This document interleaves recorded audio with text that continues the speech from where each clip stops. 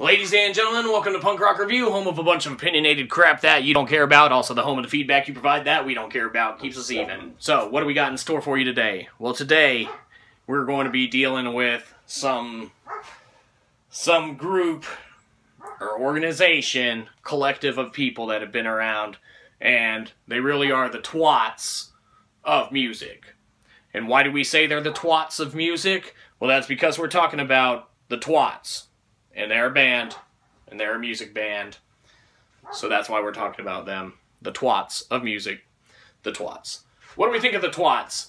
These guys got some alright stuff, man. These guys got some alright stuff. Do they find their way on a constant rotation into the, uh, you know, listening endeavors? No. Do they find themselves on there on occasion? They sure do. They got some alright stuff. So if you've never heard them, maybe check them out. Or don't. We don't care. Do what you do. It's your money and time we do what we do. So, what do we think of the twats? Well, we think they're pretty good. So, they get a PG because they're pretty good. Check them out, do what you do, or don't. We don't care. Catch you next time, probably won't.